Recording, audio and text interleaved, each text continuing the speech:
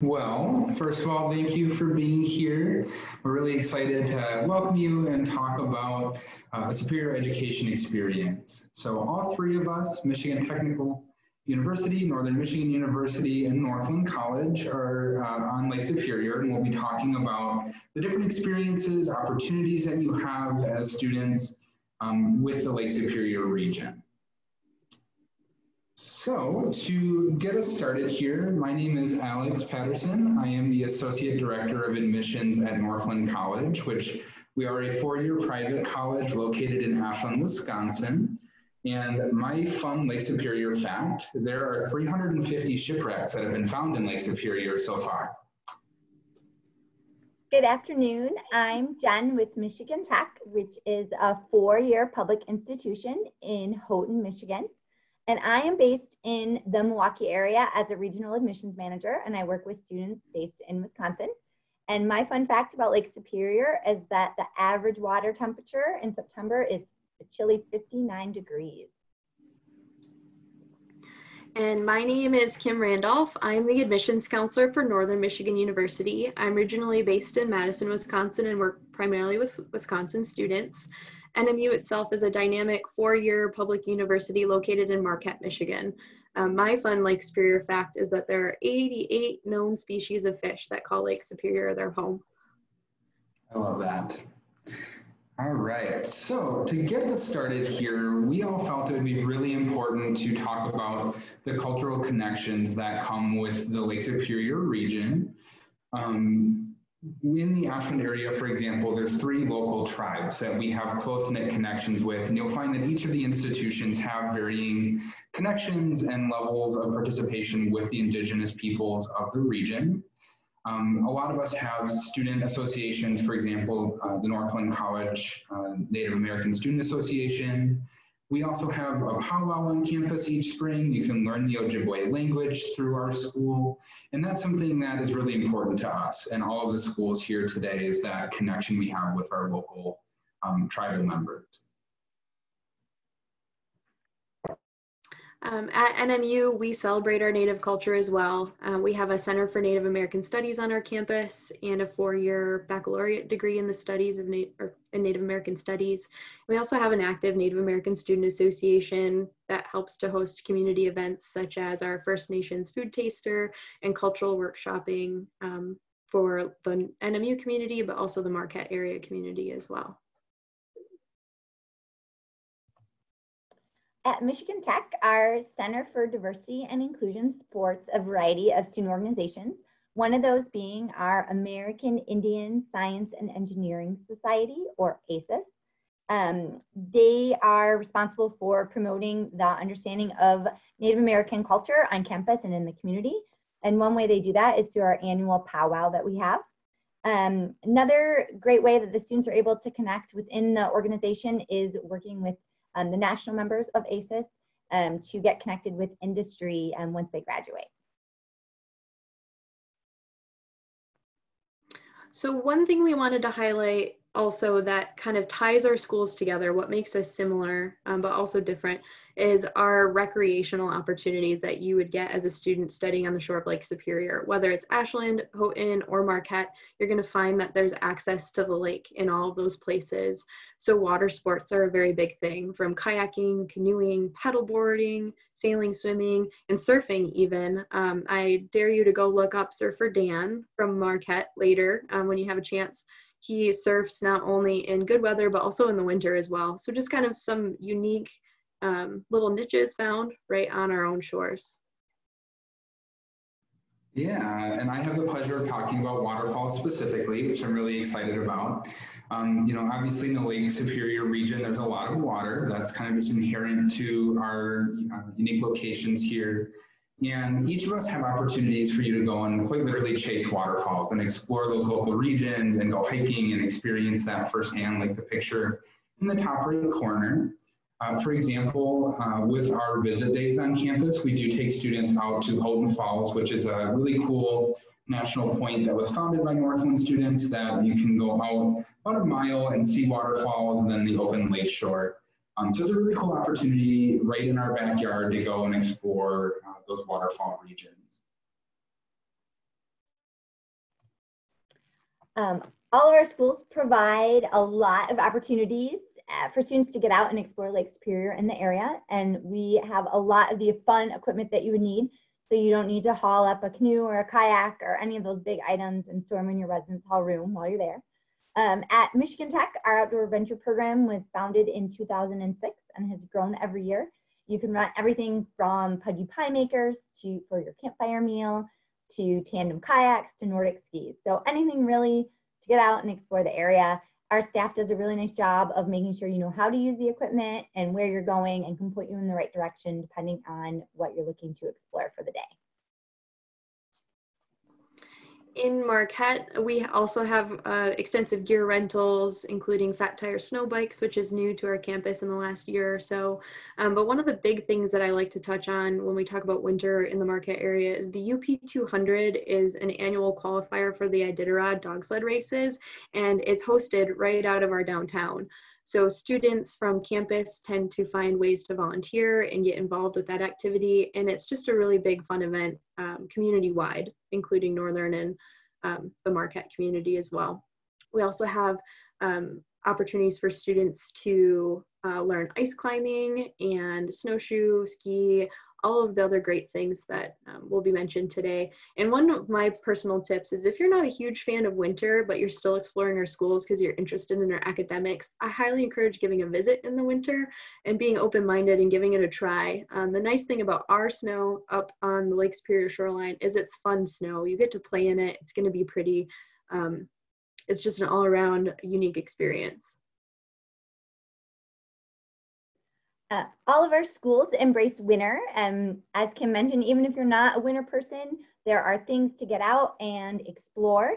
Um, so one way we do that at Michigan Tech is we have Winter Carnival, which is um, an almost 100 year celebration. A big part of that is our carnival statues, which you can see in the picture here. Our students spend about a month putting these together, and it's always amazing um, watching the building process and the design and really the tenacity of our students um, working out at all hours and in all weather um, to make these complete. Um, as also part of our Winter Carnival tradition, we have the Torchlight Parade, and that goes down our own ski hill that Michigan Tech owns and operates, Mount Ripley. And it's just a great way to celebrate winter um, and enjoy all the fun that we have on campus and in the area. Yeah, and with Northland here, uh, on the bottom left corner, you're going to see Book Across the Bay, which is a really cool event that we host each year um, in the Chequamegon Bay region. And it's a 10K marathon that's done at night out on the frozen lake. And at every kilometer, there's, for example, a bonfire or live music. And it's just this really cool activity to explore winter, explore the region. Um, it is super safe. I know we get asked about that a lot. They're quite literally having trucks out there. They have drag races on the ice in winter, which is really neat. Um, and it's just really a cool opportunity to also connect with our local communities, which also embrace winter at all of our schools and have cool festivals and activities that way. Um, the other side of it, if you're like me, I'm not a huge winter person personally, um, you can always have hot chocolate nights where you just kind of sit in your room with your friends and watch movies um, I just really embrace that kind of cottage feel of living in the Northwoods and, and enjoy that side of the recreation as well. So it doesn't all have to be outdoors, um, but certainly there is some really cool outdoor recreation in all of our spaces here.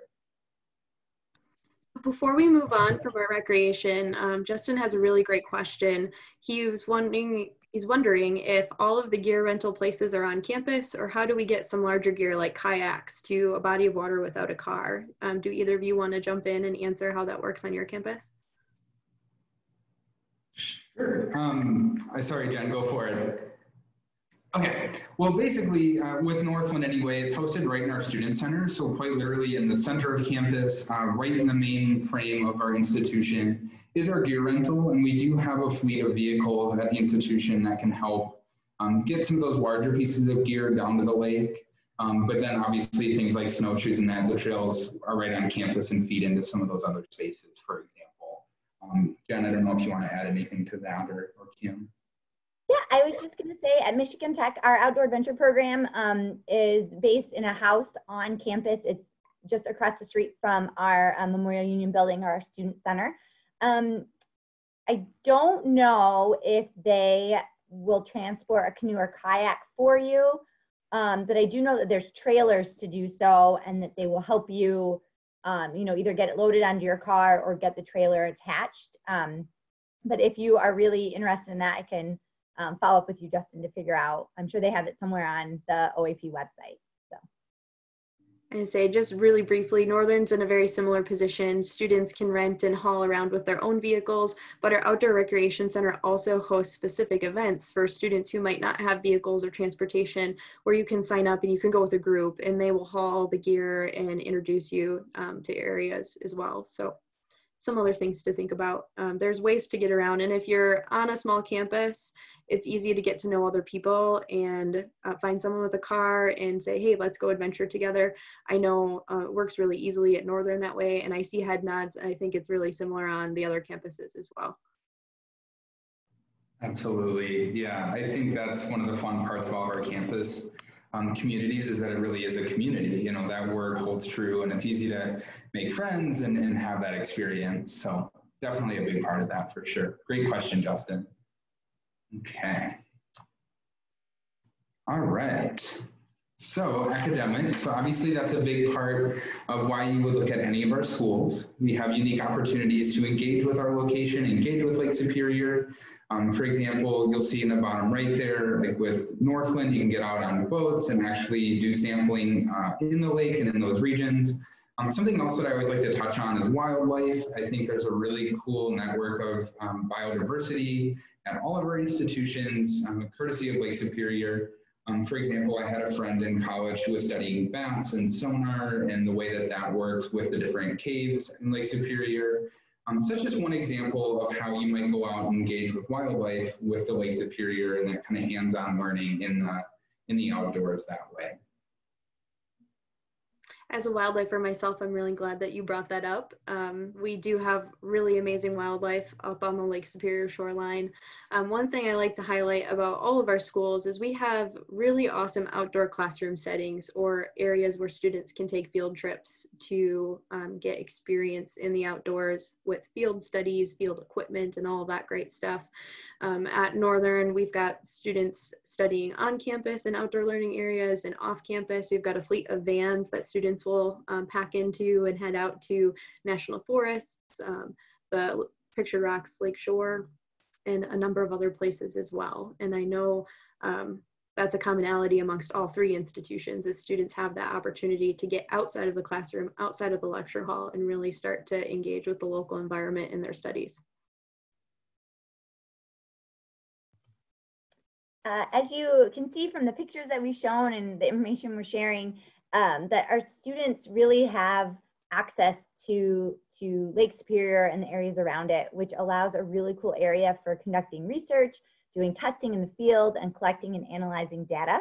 Um, at Tech, we've been studying the effects of stamp sand, which is um, basically the leftover remnants from copper mining and the impact it's having on the Buffalo Reef area. Uh, the sand is threatening to take over some breeding areas of um, some important fish for commercial um, as well as recreational fishing. Um, and also one note about our wildlife um, is that we have an ongoing research with the moose and wolf population on Isle Royale, which is a national um, forest, which you can only get to by prop plane or by ferry. Um, and so it's a really cool ongoing research project that we've got going on, learning about that wildlife out there.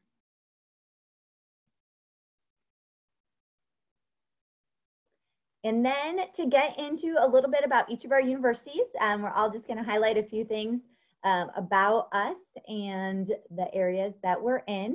Um, as I mentioned before, Michigan Tech is located in Houghton, Michigan, uh, which is probably about five, I'd say four and a half, five hours from the Beaver Dam area, about four hours from Green Bay, six hours from Milwaukee.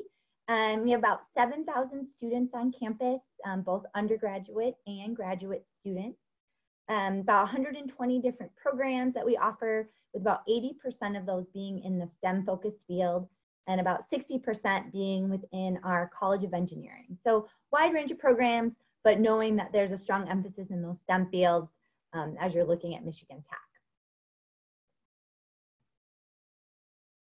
Um, we have hit on a lot of the recreation um, and so there's a lot of fun things to do in and outside the classroom based on our area.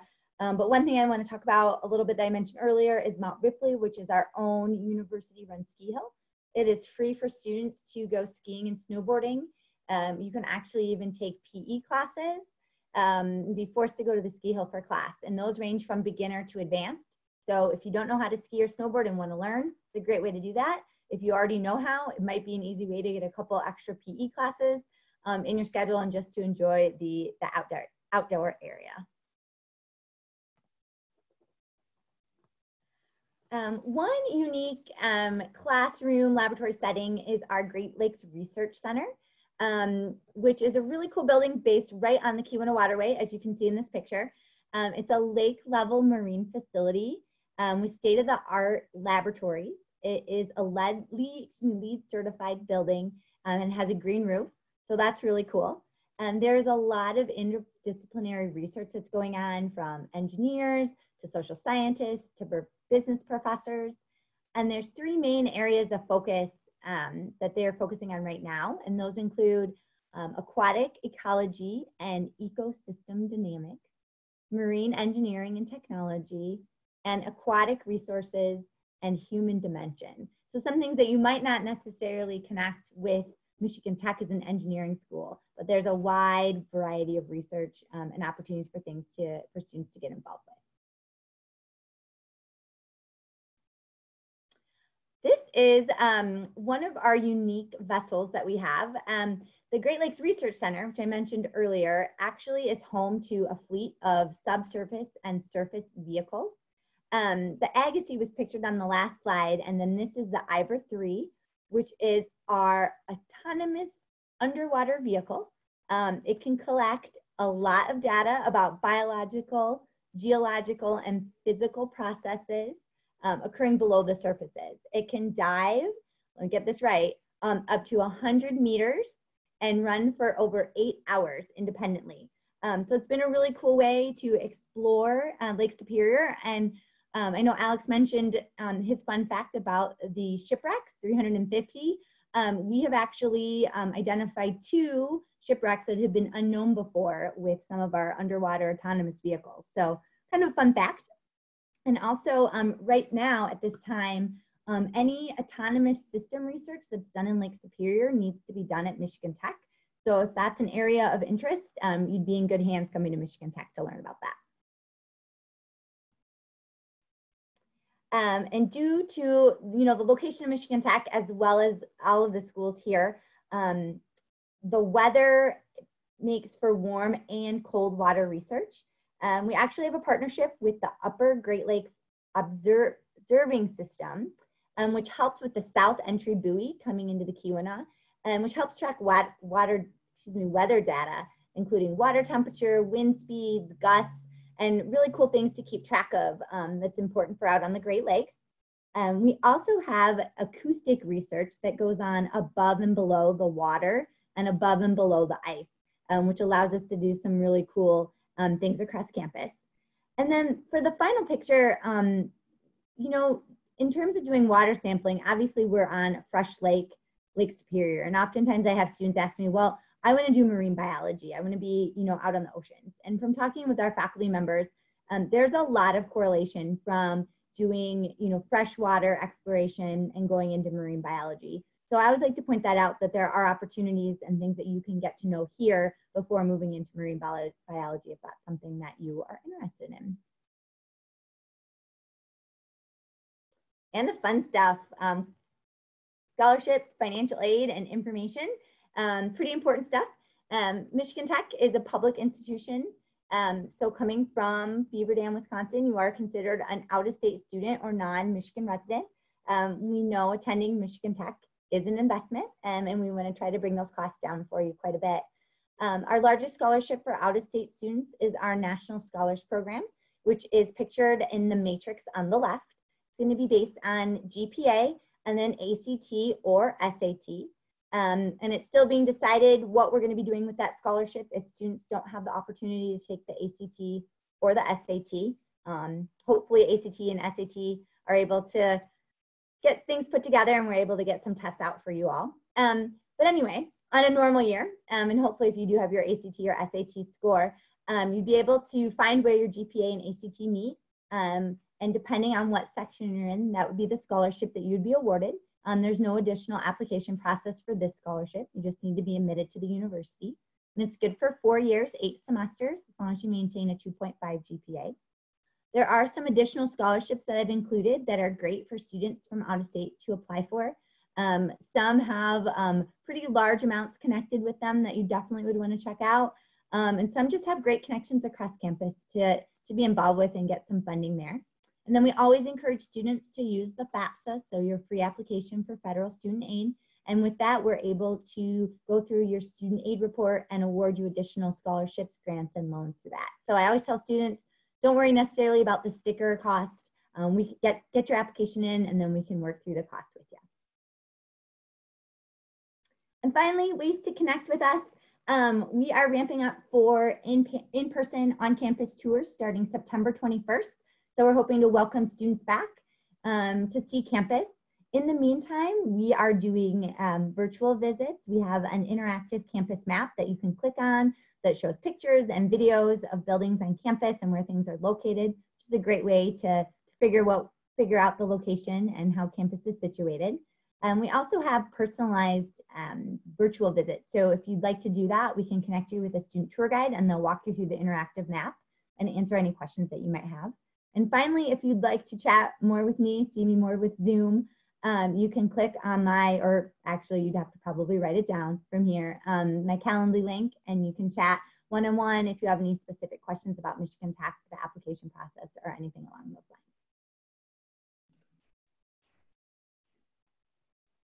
All right.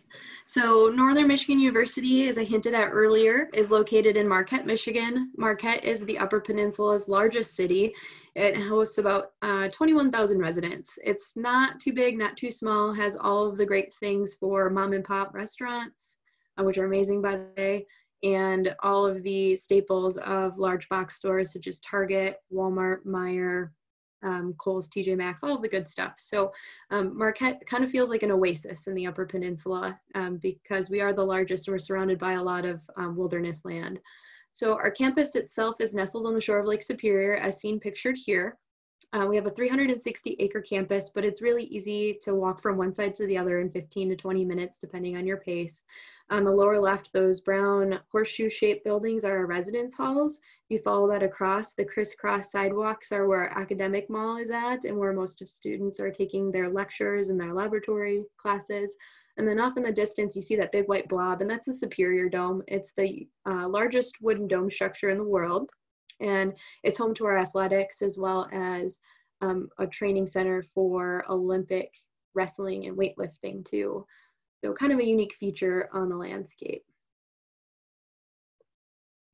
So Northern itself hosts about 7,600 students, and we offer over 170 undergraduate degree programs and about 25 graduate programs. Some of our top areas of study include art and design, nursing, education, criminal justice, and business, um, but I'm going to focus mostly on the experiences our biological science and environmental science students um, get while they're on our campus. In addition to the physical campus, we also have a very diverse geographical terrain that surrounds the Marquette area, and it serves as an extensive outdoor classroom.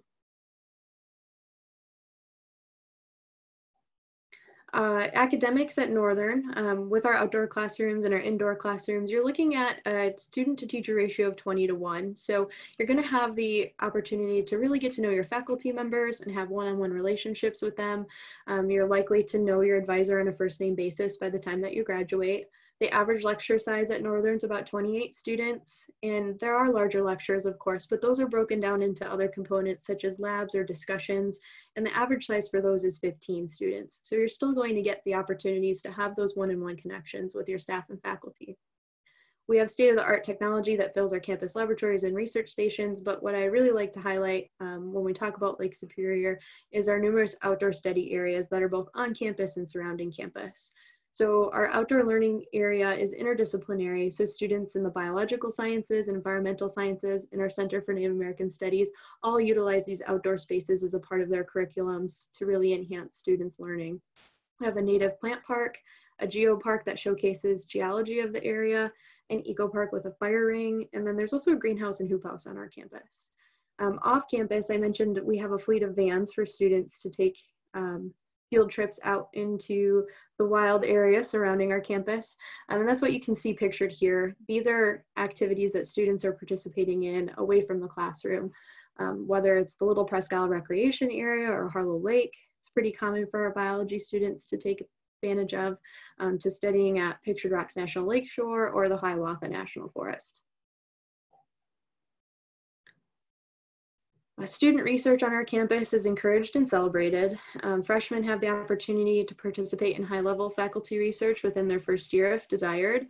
And we also encourage our students to present their research at local, regional, and national events, whether it's our celebration of student research right on campus, or if it's going to a national or regional conference to, to share their work.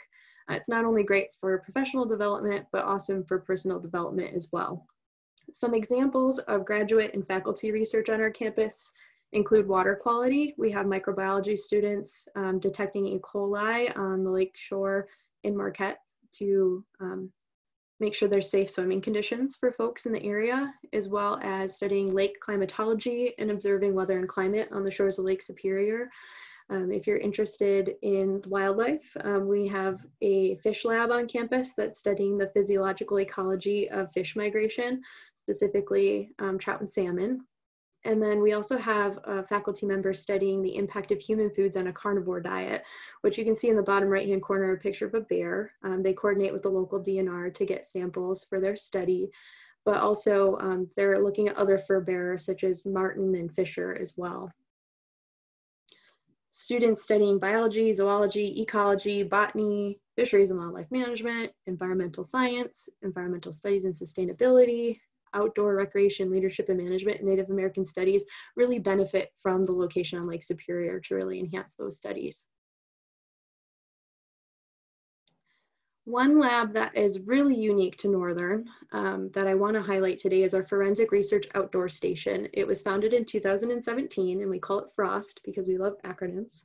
And um, the FROST lab is unique because it's one of nine specialty labs in the entire world. And it's the only lab located in a cold climate thanks Lake Superior, um, where scientists and students have the opportunity to conduct research on the effects of cold temperature, significant snow accumulation, and the freeze-thaw cycle on human decomposition. Um, there's an indoor facility that pairs with FROST. It's called FARL, because we love those acronyms. It's the Forensic Anthropology Research Laboratory.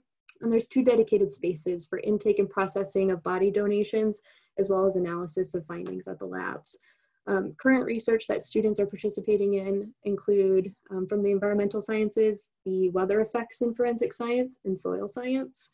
Um, criminal justice and law enforcement agencies are studying um, various forensics, uh, including the effect of human decomposition on fired bullets, which is really interesting. And then biology students are um, getting involved with studying the scavenging behavior of small mammals, such as striped skunks, entomology, so the study of bugs, and then vegetation surveys at this facility too. Completely unique, and we can thank Lake Superior um, for this opportunity. If you look in the lower left-hand side, you see the fence. You can just barely make out the Lake Superior shoreline in the background, but it is right on the lakeshore and provides a really unique learning opportunity for students.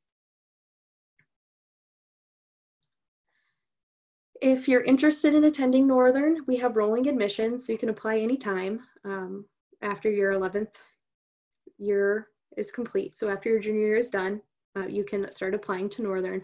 We have a 2.25 high school GPA requirement and a $35 application fee or fee waiver if you qualify. We're test blind for 2021, so that means no ACT is required for admissions, and we don't have an essay. So it takes about 15, 20 minutes of your time to apply.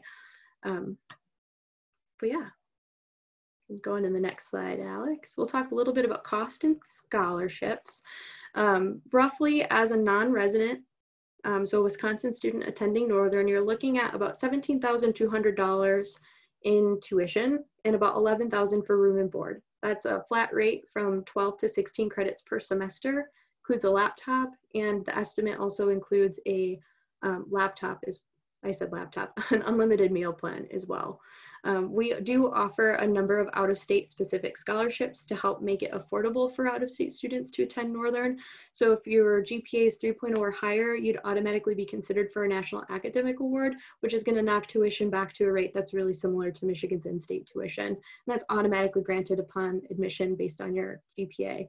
We have additional levels of scholarship with our Wildcat Achievement Awards that are offered um, without GPA, or sorry, without ACT tests. But then there's additional levels if you'd like to submit a score, if you have already tested or if you plan to test in the future, we'd take those into consideration for more scholarship. And then we encourage you to tour um, all of our schools and I'm going to put in a plug. Come see us at Northern too.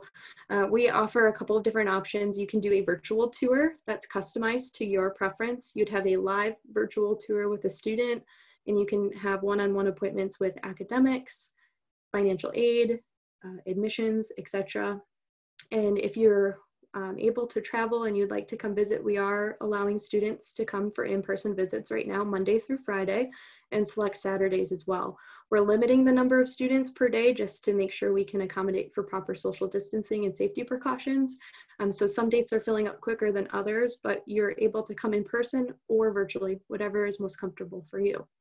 And I'm gonna turn it over to Alex now to tell you more about Northland. Awesome. Well, thank you for that. Um, yeah, and uh, as we mentioned, so I am going to talk a little bit about Northland College, and you can see our campus there. Um, so we're situated right in the heart of the Chequamegon National Forest, uh, which is about 1 million acres of natural forest that surrounds campus and uh, the Ashland area. There we go. Um, so Ashland itself, we have about 8,200 individuals, which is uh, pretty exciting. Students do have research opportunities with the city itself. Um, we also have about 44,000 acres of marine sanctuary right down the road from campus, uh, which again provides for that year-round recreation, whether that's uh, hot tent camping, canoeing, kayaking, so on and so forth. Um, so that's something that we really embrace as a community here um, we have a lot of different festivals such as Apple Fest, which celebrates all the local orchards in the area um, and everything in between. So you really see this cool sense of community with the Lake Superior region, not only on campus, but in our surrounding area as well.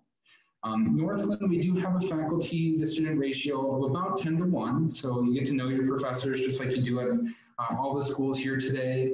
And we have just over 600 students at our college. So Northland definitely is a smaller school in that sense. which is something that we really embrace. It allows you to go out into the field, have that one-on-one experience and that hands-on research without competing with thousands of other students. So that's something that we're really uh, fortunate to have here.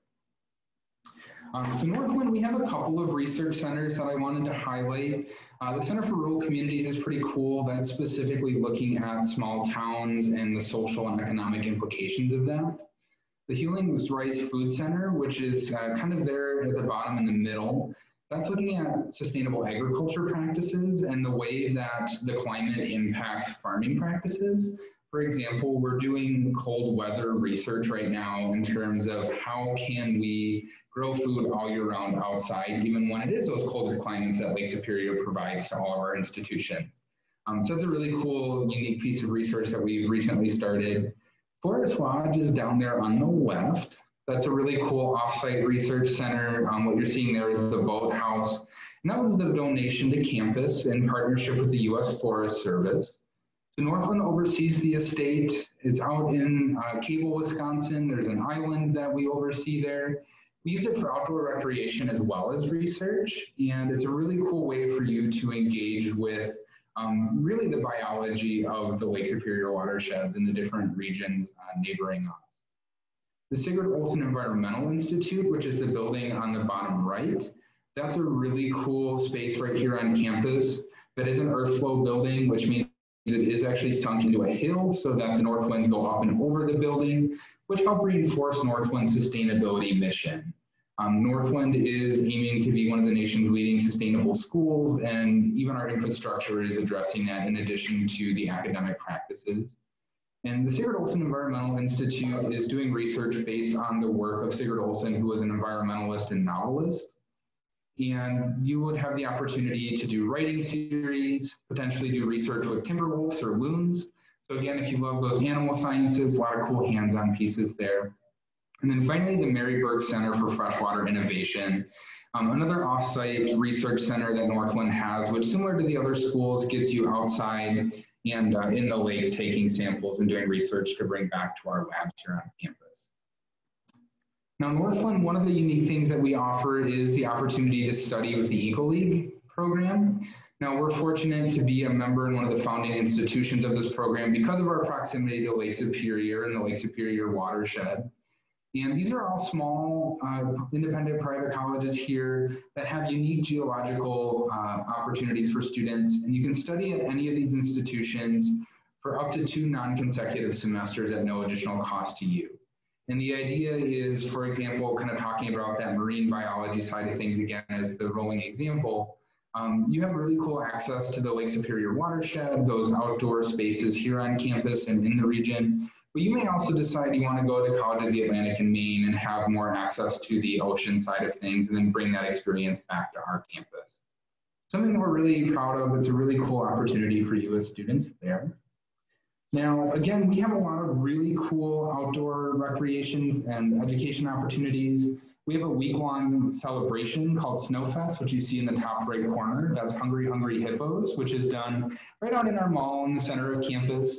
Um, so we like to uh, get students out of their dorm rooms, enjoying winter. You can see that Timberwolf research there on the bottom right, which to me is just crazy that you get to get up close and personal. I've actually gone wolf calling with the campus. Um, you can see the Apostle Islands there and recreational uh, kayaking, but you can also research there. And then slacklining right here on the heart of campus. Uh, again, ice climbing as well in the region and other opportunities that way, just like our my counterparts here. So a lot of really cool opportunities to engage with Lake Superior that way. Um, like my friends here, we also have really cool visit opportunities. Um, again, I always encourage winter, you may get lucky and see the sea caves, which are up there in the top left, which are these really cool caves carved into the bluffs in the local region. And when they freeze over, you can go hiking in them. Um, we are offering in-person visits, but like others, limiting the amount of people, and we are asking for face coverings at this time, as well as a lot of cool virtual opportunities. In terms of financial aid, you know, Northland is in Wisconsin, although we don't have in-state or out-of-state tuition as a private college, which is uh, something to kind of be mindful of there. And we do academic and merit-based aid. So you have an automatic academic scholarship awarded to you right off your application. Um, and then you would do uh, a meeting with one of our counselors here virtually where we just work to get to know you better. Um, you know, we also don't have essay requirements, we're test optional. So we spend some time really getting to know you individually to understand your interest in the outdoors and our mission and our school and award you aid based on some of those things as well here. So pretty competitive that way. Uh, and it's just a fun way for us to get to know you as well. So again, don't hesitate to reach out with questions or concerns about that always here and happy to help. Uh, with that, we have about five minutes here before the end of our session, and I do want to just open it up to questions here um, from the group.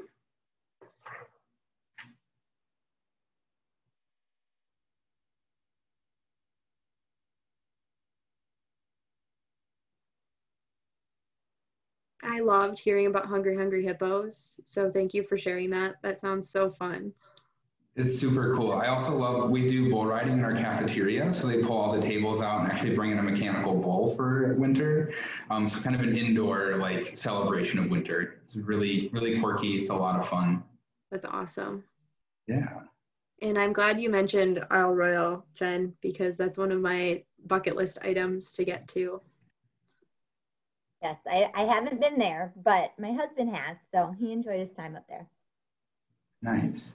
And I see Justin has um, no questions, but you know we're really excited that you were able to join us today and and have those opportunities to learn about our schools. But I do have one parting question that I think each of us should answer, and that is what is our favorite thing about living in the Lake Superior areas or having access to the lake? And I can get started since I posed the question. And to me, it's the people. I love being able to walk into a store and have them know me and like go to the bookstore. And Jill's like, I already know what book you're going for. Don't worry about it. Um, that's something that I love just living in the region that I live in. you know, I, I, I do miss the people. I did live on campus in the area for four years before I moved down to the Milwaukee area. And so I agree, the people are great. Um, but one thing that I was excited when I lived in Houghton was that I learned how to snowshoe. Um, not necessarily something that you learn, but I'd never done it before. And so having the opportunity to get out and do that and have the tech trails and just the, the snow to be able to do it, um, something that I really miss being down in down here where we don't get as much snow. I think we went snowshoeing one time last year, just based on schedules and snow amount. I was originally going to say the Midwest hospitality because you know you're gonna walk down the sidewalk and someone's gonna smile and say hello, or if you get stuck in a snowbank, four people are gonna come help push you out, um, and that's a, that's a wonderful thing. Um, but one of my absolute favorite is just the recreational opportunities between hiking, and I actually gained a passion for kayaking, and that's been really fun um, to explore up in this area. I do take my cat kayaking too, so that's always a fun, unique thing when I'm out paddling. People are like, "Is that really a cat?" And it is. He's a, he's a cool Yooper cat, so we we love that. Yeah. Love that. Well, wonderful. Well, thank you, Justin. And with that, we'll turn it to you, Britta. All right. Well, thank you. Well, I, I don't know about Justin or those that are going to watch this later, but I'm kind of like, yeah, I want to go study at all three of those schools again and get more degrees because it just sounds so fun. So thank you all for a wonderful presentation. Um, just a few closing items here that I want to share is that um, we want to thank you for joining us. There is going to be a quick survey when you exit out. Um, just four quick questions. There, uh, again, are more sessions available um, through the 4th and so please sign up at wacac.com. And again, this uh, viewing was recorded. So if you know anybody that should have been here to see this, please let them know because these schools have such amazing opportunities to share with everyone in Wisconsin. So thank you so much for your time and have a great afternoon. Thank you. Hi, everybody.